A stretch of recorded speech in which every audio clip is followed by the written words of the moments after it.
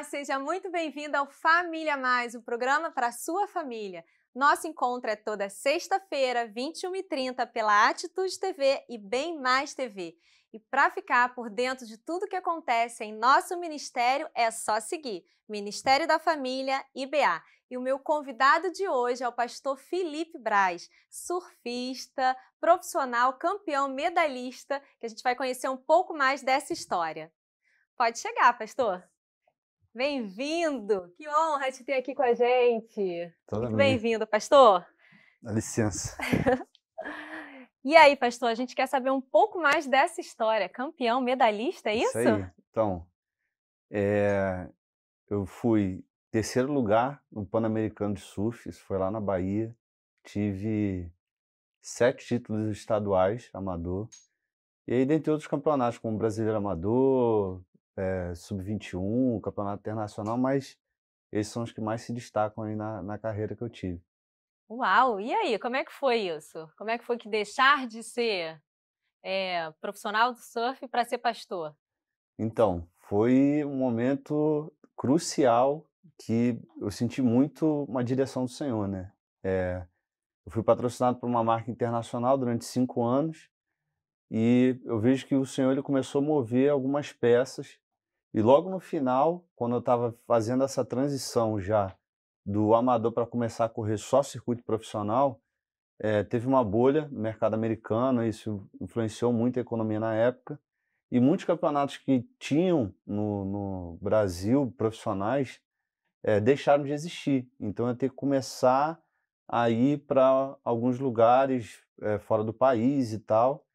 E eu comecei a repensar muita coisa naquele momento. E era um momento que eu estava começando a ter mais experiência com o Senhor e me relacionar mais com Ele. E aí eu fui numa conferência, e nessa conferência eu tive um encontro com o Senhor. Uma pessoa foi até usada para confirmar coisas que eu havia falado, coisas que eu estava orando. E ali eu decidi entrar no seminário, mesmo sendo algo incerto, que a igreja ainda estava estudando em relação ao seminário é, integral ali eu decidi que era o caminho que eu deveria seguir, que eu não ia ter toda a experiência, toda a alegria, toda a paz que eu teria vivendo o meu propósito comparado ao que eu vivia antes como atleta. E teve o apoio da família, dos amigos? Como é que foi, né? Deixar de ser ali um profissional para ir para o campo missionário? Na época foi até um, um conflito, porque tinham pessoas que apoiavam e tinham pessoas que achavam loucura, né? Mas todo passo que a gente vai dar de fé ou de empreendedorismo, algo do tipo, eu vejo que são passos de loucura, senão todo mundo estaria vivendo na mesma realidade. Uhum.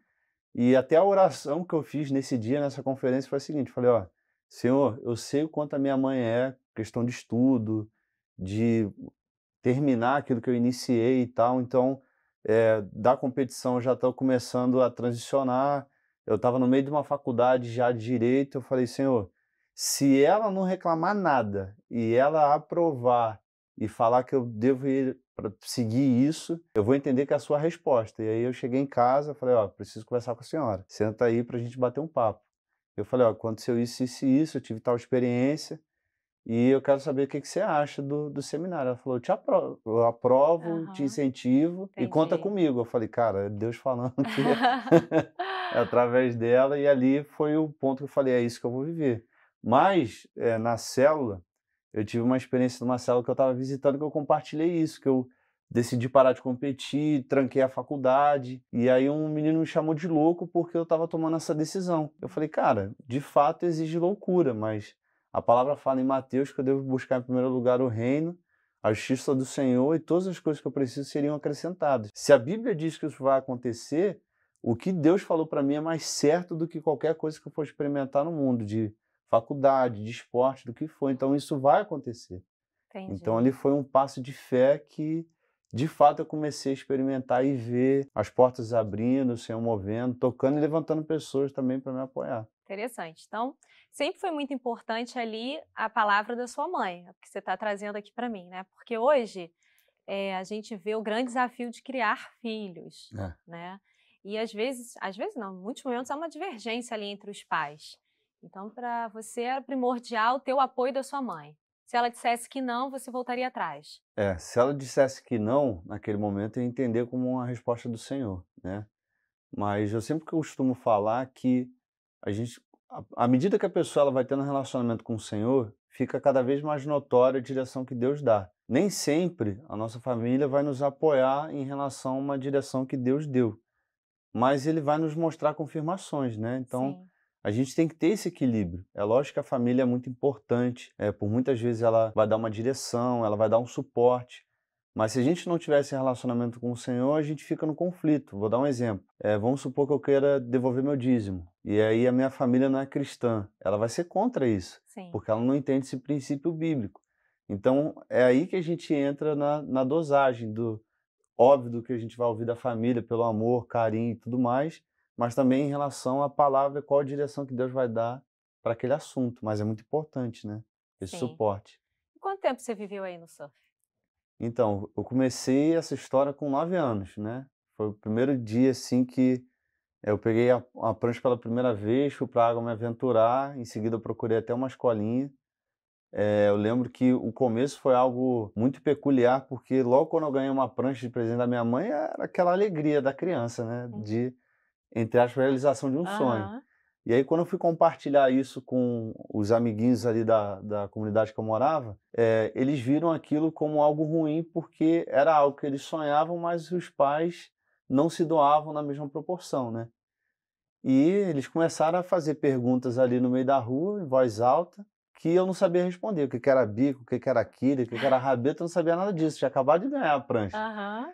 E ali eu, eu tomei uma decisão. Eu virei e usei aquilo de combustível. Eu falei, olha, eu vou mostrar que eu posso ser melhor do que todos vocês. E eu mergulhei com nove anos. E aí entrei numa escolinha, comecei a treinar.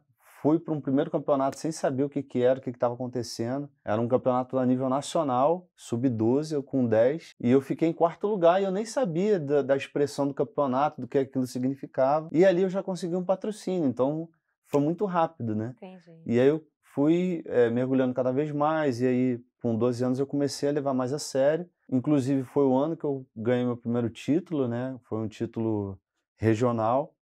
E ali eu vi que as portas começaram a abrir, meio patrocínio, é, pessoas incentivando. Eu já comecei a fazer recurso na época com aquilo. Então eu chegava no campeonato, ganhava roupa de outra marca, eu não podia usar porque já tinha o meu patrocinador. Aí eu vendia aquilo, já era um dinheirinho que eu tinha ali, Entendi. que eu já começava a administrar, me organizar, até para investir, né, comprar um equipamento melhor, essas coisas. Né? E pastor, o que que o esporte trouxe de aprendizado para sua vida? Olha, o esporte ele foi um grande influenciador na formação do meu caráter e na minha formação como homem. Através do esporte eu conheci lugares que eu nunca ia conhecer, de países, isso expandiu a minha visão sobre muita coisa, né?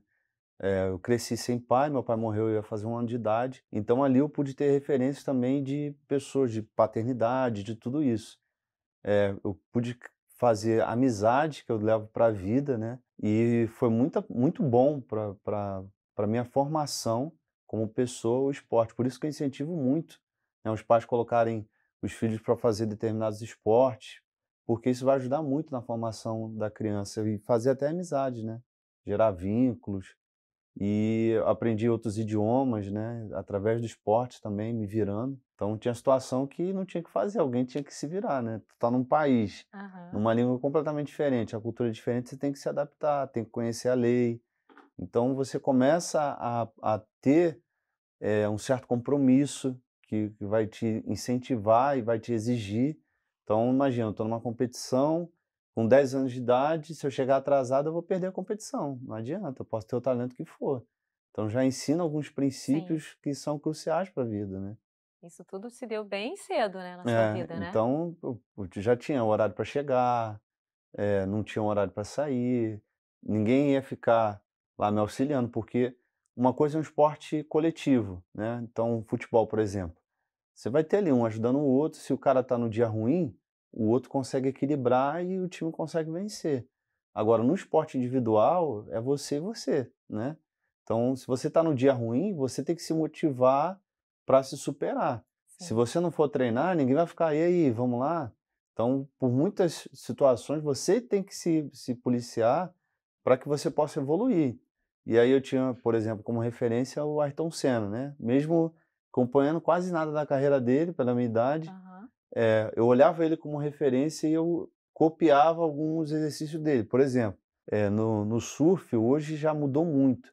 Mas antigamente o pessoal não ia buscar conhecimento em relação a material, equipamento, tudo isso. Então eu pegava o livro de regras, olhava todo o livro de regras para saber o que, que podia, o que, que não podia, o que, que eu poderia exigir também da, da instituição e tudo mais.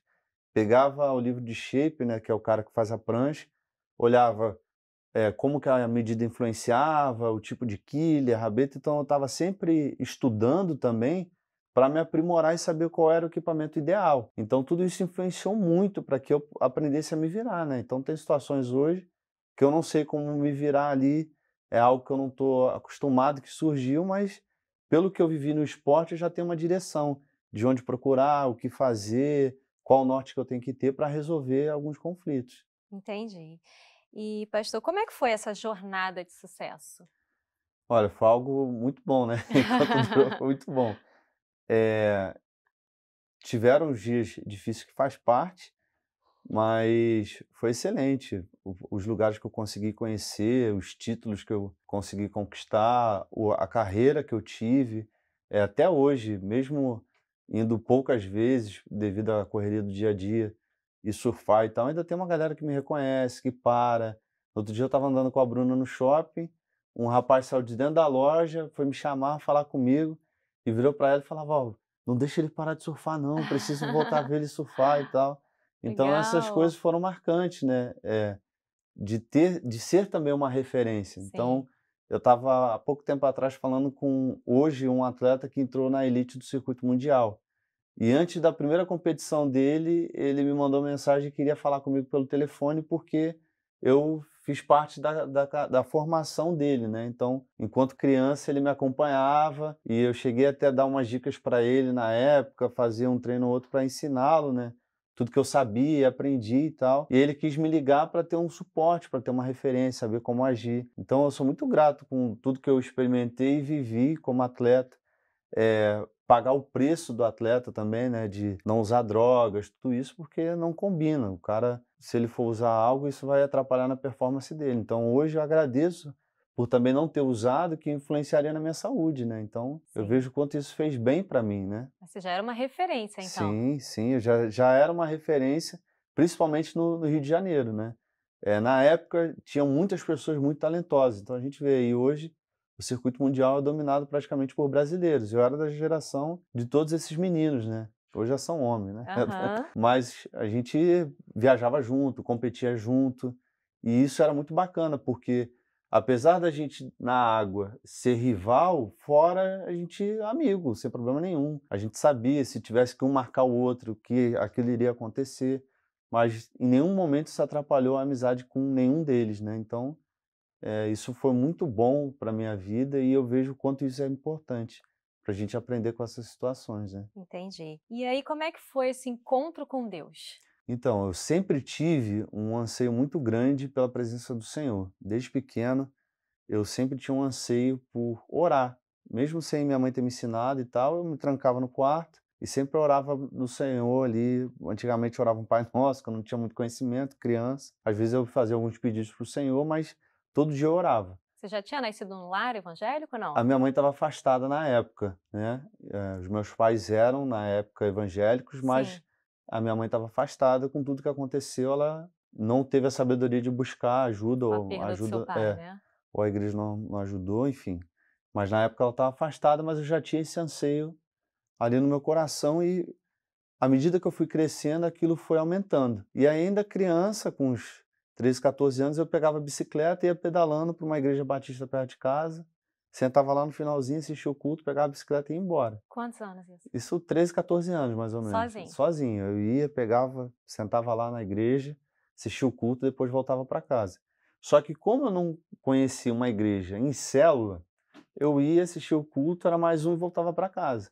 Não tinha ninguém que me ensinasse. Então, Sim. Então, infelizmente, por mais que eu tivesse uma noçãozinha mínima da palavra e tal, da presença do Senhor, de ter esse anseio, eu não tinha quem me ensinasse qual caminho que eu deveria andar.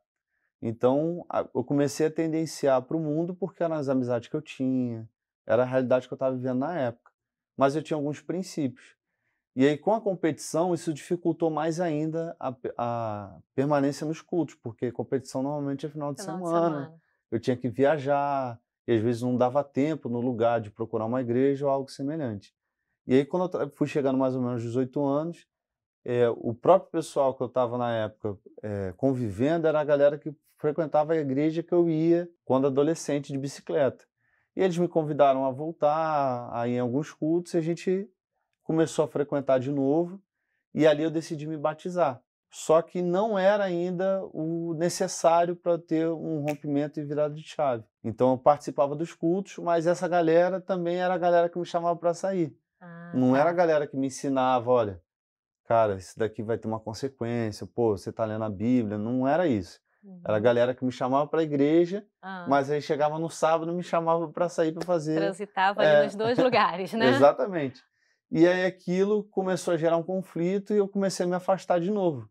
Até que um dia esse mesmo menino foi para uma célula e me chamou para a célula da nossa igreja. Ah. E aí ah. quando eu fui para a célula, ali que a chave virou. Que aí eu comecei a ser acompanhado, comecei a ser discipulado.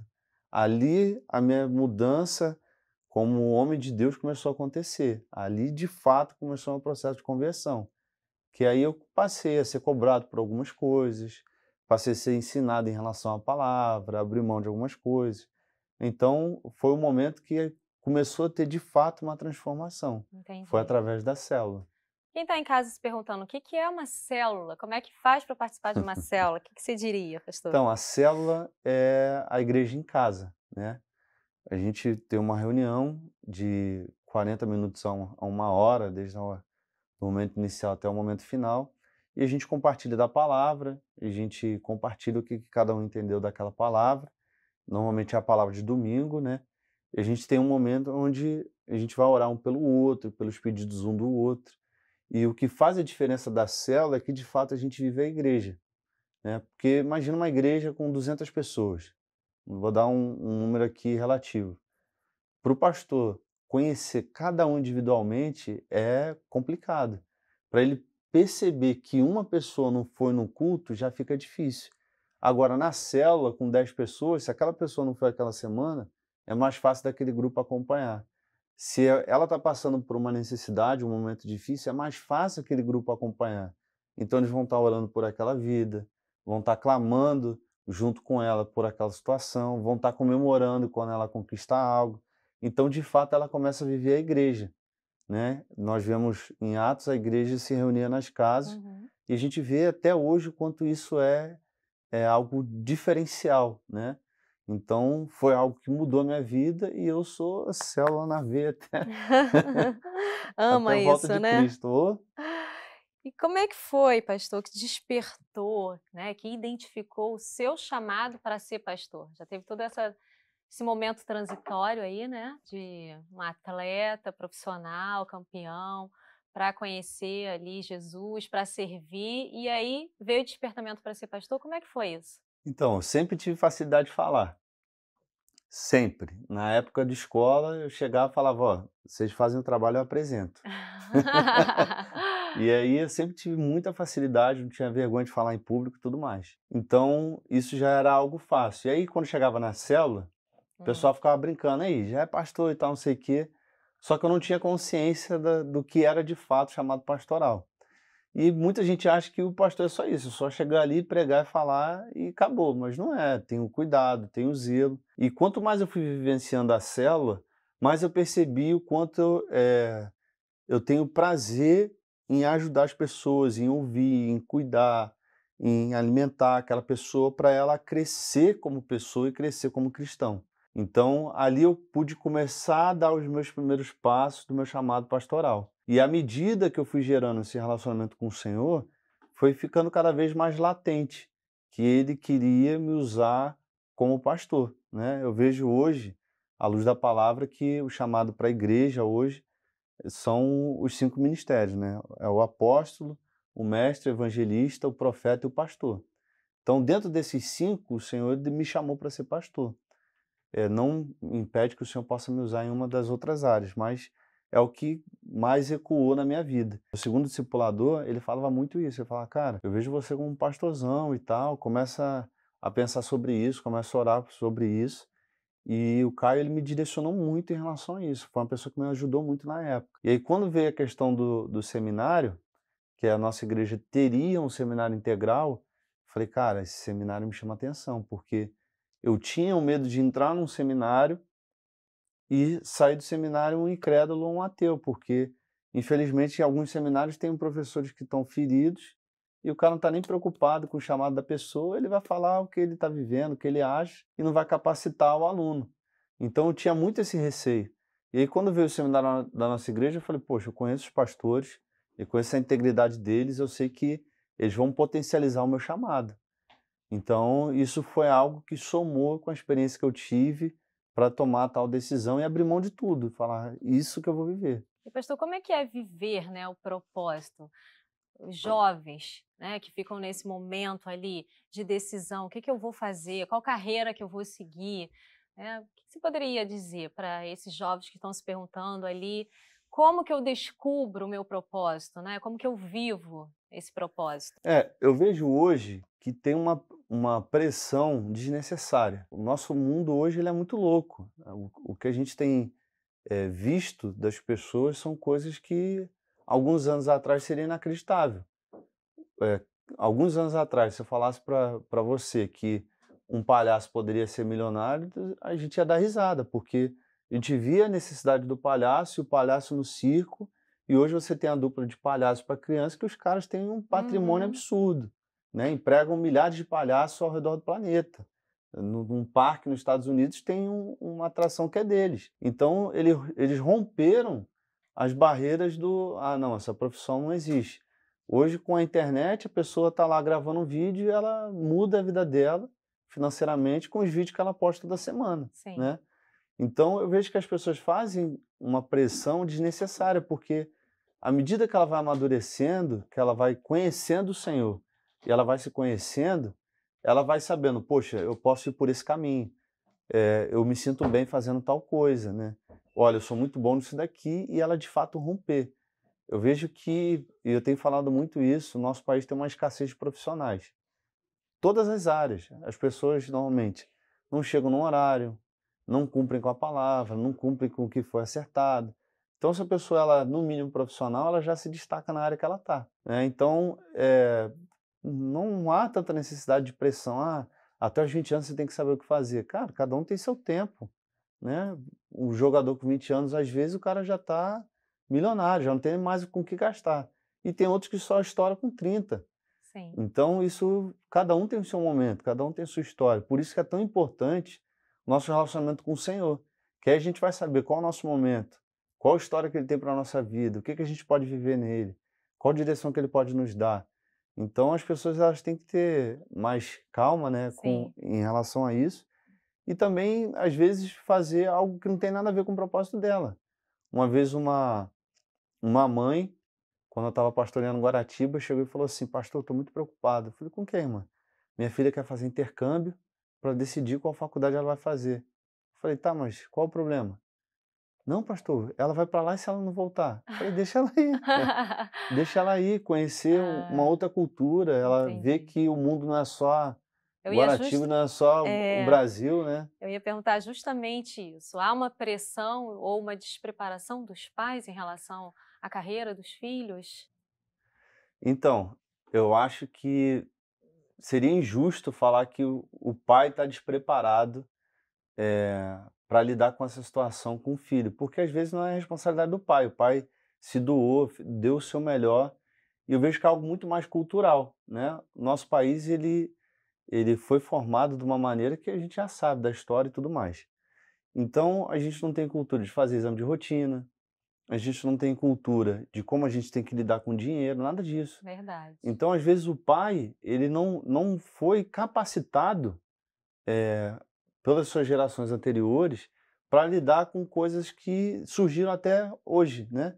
Então, hoje a pessoa é youtuber. É, Alguns verdade. anos atrás, o que era ser youtuber, uhum. né? Então, é, são coisas novas até para gente, até para nossa geração.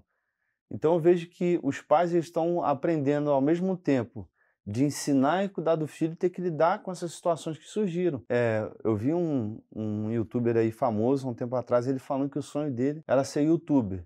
Ah, pai, tá maluco, vai trabalhar, que isso não é vida, que você não vai mudar de vida com isso e tal. Quando ele começou a ver o que caía na conta do filho, ele falou: você tem que me ensinar a ser youtuber, Ah, né? tá. Então, assim, Mudou ali, é, né? ele- Rapidinho, ele né? mudou com o filho. Aham. Então eu vejo que hoje muitas coisas estão mudando e muitas coisas ainda vão mudar. Tem empresas que existem hoje que não vão existir daqui a alguns anos. É, Algumas profissões, inclusive. Exatamente. Então nós eh, temos exemplos de empresas que eram gigantescas, eh, Kodak, Blockbuster, tudo mais. Cadê hoje, né? É. Não conseguiram se reinventar e o mundo não, não parou para ensinar e continuou mudando. Então eu vejo que hoje, cada vez mais, isso vai acontecer. É, tem uma geração que já está aprendendo a lidar com isso, com criptomoeda, com NFT, com metaverso e não sei o quê. Coisas estão surgindo agora que já estão mudando um cenário absurdo.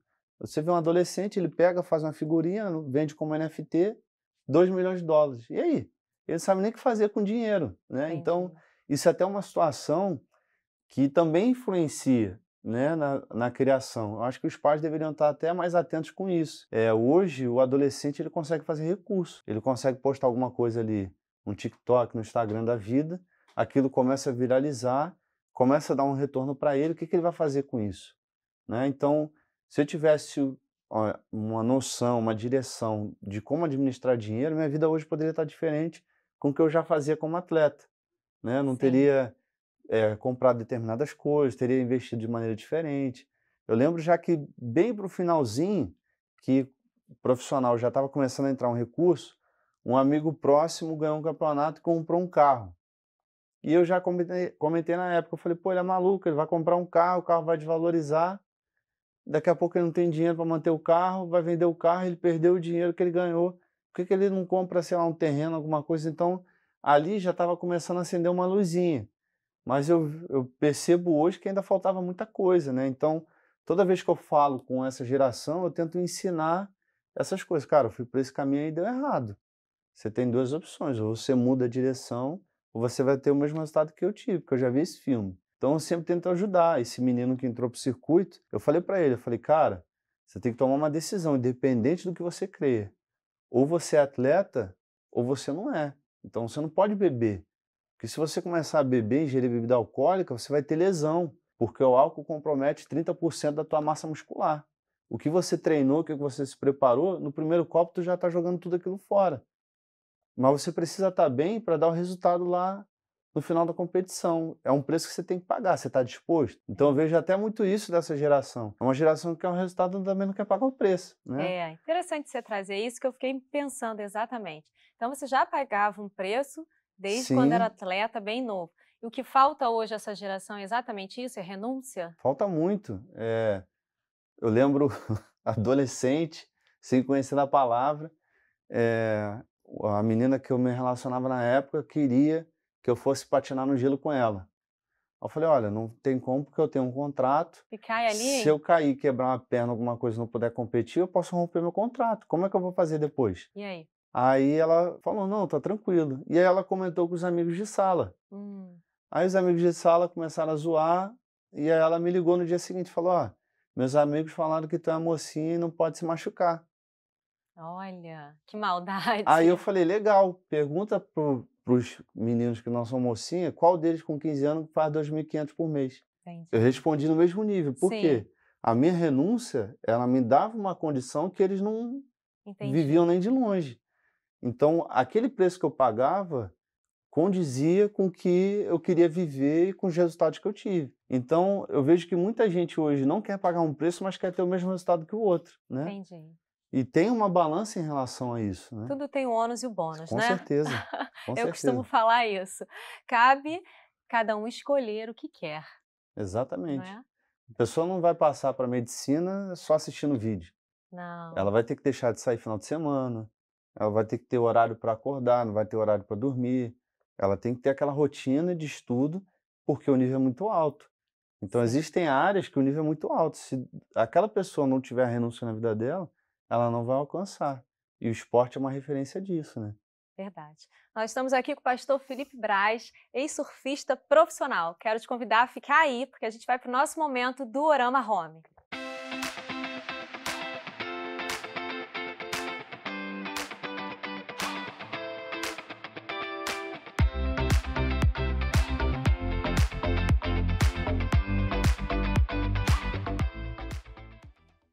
A Dorama Home, além de ter ali uma linha toda de mesa posta para sua casa, hoje a gente trouxe mais uma vez uma proposta de decoração. Gente, olha que riqueza de detalhes. Olha essa menina lendo. Que coisa linda! Para compor ali o quarto da sua filha.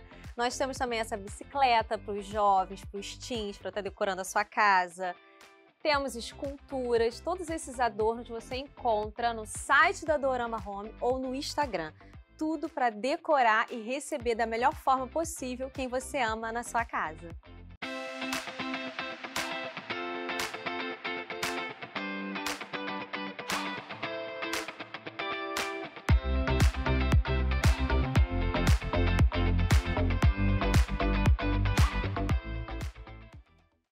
Estamos de volta com o pastor Felipe Braz falando sobre Decida Viver o Seu Propósito. Hoje você vai conseguir entender um pouco mais sobre isso aqui, diante da história do pastor. Pastor, em algum momento você pensou em voltar atrás? Não. Não? Não. É, o meu grande amigo, pastorzão Léo, né? Um dia ele brincou comigo assim, ele falou, aí, o Chores, que ele me chama assim, né? É, poderia ser você ganhando um título mundial hoje. Sabe que eu fiquei rico. pensando isso? Falei, olha. ele ficou brincando comigo na época, mas eu respondi brincando. Falei, cara, de fato poderia ser eu, mas ia estar tá no inferno. Entendi. Porque eu decidi abrir mão de tudo aquilo por algo muito maior, né? O que eu decidi viver no Senhor é incomparável com o que eu viveria no mundo. Tem um médico muito famoso que o que mais me impactou, que eu já assisti dele, foi um dia que ele estava chorando muito, quando ele reencontrou um amigo de infância. Todos os repórteres ali não entenderam por que ele estava chorando tanto. E ele virou e falou o seguinte: hoje, com a minha fortuna, com toda a minha fama, eu jamais vou conseguir chegar no mesmo nível que eles, porque eles abriram mão de tudo para serem missionários. Então, não importa o que eu faça hoje, eu não vou viver o que eles já viveram. Profundo, eu, é, né? Exatamente. Então, ali eu, eu falei, cara, mais uma confirmação. Mais uma confirmação. Né? Não, não se compara Sim. o que eu faço hoje com o que eu fazia antes. Porque a glória era toda minha. Sim. Era meu nome que estava em destaque, só a minha vida que mudava. Entendi. Entendeu? Hoje não. Hoje a glória é toda do Senhor e são vidas que são transformadas, casamentos que são restaurados, pessoas que têm a mudança completa de vida. Entendi. Então é, o, o, o ônus é muito maior, né? O, e o bônus também. E como é hoje viver a sua vocação? Existe o preço do chamado também, né, pastor? Como é hoje? Sim, muita gente não consegue nem lidar com isso, né? O preço do chamado. Mas, como eu já vivia isso como atleta, ficou mais fácil. É, eu estava conversando essa semana isso e eu falei com isso com uma pessoa que eu estava conversando. Eu falei, cara, as pessoas entram para algumas lideranças na igreja, para algumas lideranças ministeriais, e elas acham que a vida dela vai ser a mesma coisa, que ela vai ficar postando a mesma coisa, que ela vai continuar fazendo a mesma coisa. E ela não entende que tem um preço que ela tem que pagar. Ela tem que repensar algumas coisas que ela vai postar. Ela tem que repensar algumas coisas que ela vai falar, da maneira que ela vai agir. Porque um erro, um gafezinho, pode levar a pessoa a se afastar, a ir para o inferno, a desistir. Então, ela tem que toda hora se policiar. Ela vai errar? Vai, porque ela é, é humana, isso faz parte. Mas ela não pode usar do erro algo comum, é algo normal, né? Uhum. Então, eu, eu, me policio muito. Tem, às vezes eu vou lá, vou postar um negócio, já está pronto, eu olho e falo, cara, não vou fazer isso não. Então eu repenso muita coisa, a maneira que eu vou agir, por muitas vezes eu repenso, eu fico olhando. É uma responsabilidade Sim, muito grande ser pastor? Exato, claro no que é. No seu ponto de vista? Claro que é. Eu conheço pessoas que é, dificilmente, do, da maneira de com os olhares naturais, né? Provavelmente ela não vai voltar para a igreja, porque ela se decepcionou com um pastor que errou. Entendi. Então, um pastor que foi pego em adultério, metade da igreja saiu e dificilmente vai voltar. Então, infelizmente, né, algumas pessoas não têm consciência disso. Então, não está dando conta, não está conseguindo viver o chamado, já está no erro, pede para ser afastado. Uhum. Vai se tratar, vai pedir ajuda, Sim, sim. busca acompanhamento, busca alguém que possa te ajudar. Eu creio que Deus pode restaurar tudo, mas não fica se enganando, né? E enganando o povo, porque o Senhor está vendo tudo. Então, eu acho que falta um pouco de compromisso e de valores para algumas pessoas entenderem que tem um preço a ser pago também com o ministério. A gente tem que ter um zelo, a gente tem que ter cuidado.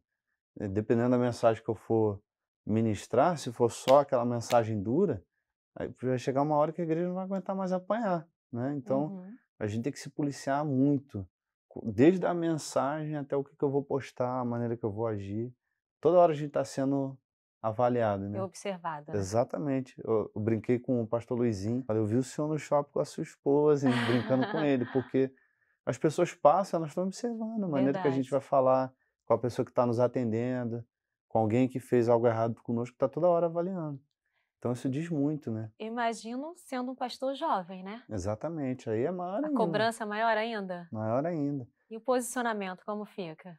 Eu sou tranquilo, né? Eu vejo, bem Como eu já estou tranquilo. acostumado, é, para mim é tranquilo. É, eu- Deus me preparou no esporte, no Campeonato Pan-Americano. Um dia antes de começar o campeonato, um cara que era filmmaker virou para mim e falou assim: Ó, eu tenho contato direto do seu patrocinador. Se tu não ganhar esse campeonato, eles não vão renovar. Nem Olha, começou o campeonato, ele já veio com isso. imagina a pressão. Aí eu falei para ele: manda ele preparar o contrato então. Não ganhei, mas a performance que eu tive na competição, eu fiquei em terceiro. E o que eu sofri na final, chegou nele. Ele falou: a gente vai renovar para o próximo ano. Então, assim, eh, quando eu cheguei em Guaratiba, muito jovem, Sim, muitas pessoas tiveram alguns olhares assim: pô, o que esse garoto está fazendo Teve aqui e tal? Teve. Mas à medida que eles foram convivendo e viram meu compromisso, a minha responsabilidade com a igreja, muita coisa mudou. Então, por mais que alguns ainda tivessem esse pensamento, a igreja já tinha me abraçado. Eu já consegui reverter aquilo. Porque as pessoas associam é, o pastoreio com idade. é Só que verdade. Ainda hoje tem isso, ainda né? hoje tem isso, mas isso não tem nada a ver com a palavra. Sim, Jesus ele pega eh, no Novo Testamento, a gente vê o momento que ele está com os discípulos e um dos discípulos vira para ele e fala que tem que devolver o imposto, tem que dar um imposto. Aí ele manda ir lá e pescar. Quantas moedas vêm? Duas. Por quê? Só ele e aquele discípulo eram maiores de idade e eles tinham que pagar o imposto, porque todos os outros eram abaixo da idade que era obrigatória o pagamento do imposto. Então ele chamou jovens para impactar a humanidade. Quando esses jovens foram enviados, eles tiveram três anos de preparo. Tinha ali uma minoria que era maior de idade e os outros que eram jovens. E muita gente não se atenta em relação a isso, né? Acha que pastor é só a partir dos 50 anos. Mas não tem nada a ver. Entendi. É óbvio que não vai ser com 15, 16, que ainda tem muita coisa para experimentar. Ainda tem a luta com os próprios hormônios, né? É verdade. Mas quando já tem uma certa maturidade, já tem uma experiência de vida, já começa a mudar em relação a isso. Você acredita que quanto maior a intimidade, mais fácil fica? Com certeza, Ou menos desafiador, não com sei, né? certeza. Quanto mais íntimo do Senhor você tá, mais fácil de você romper esses desafios, Sim. né? Eu costumo falar que o nosso primeiro propósito não é casar, não é servir. Nosso primeiro propósito é se relacionar com o Senhor. Em Gênesis, ele ia lá e já se relacionava com o homem. Ele não enviou um homem para construir um templo. Não enviou um homem para ser profeta. Ele criou um homem para um relacionamento. Né? Então, nosso primeiro propósito é relacionar com o Senhor. E quanto mais a gente se relaciona, mais a gente percebe algumas coisas. Se aquilo que a gente está vivendo, aquele desafio, fomos nós que escolhemos estar ali, ou se foi algo que o Senhor preparou para a gente se, é, se capacitar, se estruturar para a gente usar aquilo lá na frente. Entendi. Então fica mais fácil né, de perceber. E pastor, o que você diria para os jovens, né, que estão em dúvida sobre viver o seu chamado pastoral? Está se perguntando, poxa, são tantas renúncias, né? é, tem o bônus, mas também tem o ônus. O que que você diria para esses jovens que estão assistindo a gente? Não dá para correr, não. Cara, eu falo que eu creio, na verdade, nisso, que todos nós temos um chamado pastoral. Todos nós? Todos nós. Por quê? Se a pessoa ela casar, ela vai ser o pastor, a pastora daquele lar, daquela família. Então ela vai ter um mínimo de rebanho que o Senhor já confiou. Então ele já tem um chamado para isso. O fazer discípulos é para todos, sim, né? Sim. Agora, nem todo mundo tem um chamado para pastorear um rebanho grande. Hum. A cada um o Senhor confia uma quantidade. Entendi. Então, isso daí já não dá para a gente fugir. Agora, quanto mais a pessoa aceitar, mais fácil fica para ela viver aquilo. Porque senão ela nunca vai estar tá bem com ela mesma, porque ela está vivendo algo que não é para ela viver. É igual aquela pessoa que está num trabalho que ela odeia, ela está por causa do dinheiro.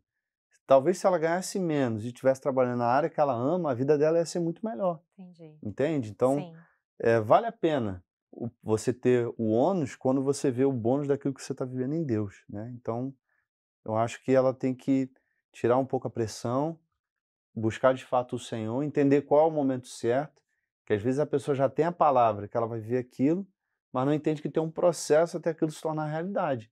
Ela acha que é imediato. Não, Deus falou comigo, eu vou Sim. virar pastor hoje, né? Importante é não fugir do seu... É, Exatamente. Tem o processo, né? E não Exatamente. fugir do processo. Exatamente. Buscar a Deus em primeiro lugar, que as demais coisas são acrescentadas, Sim, com né? Com certeza. Ok.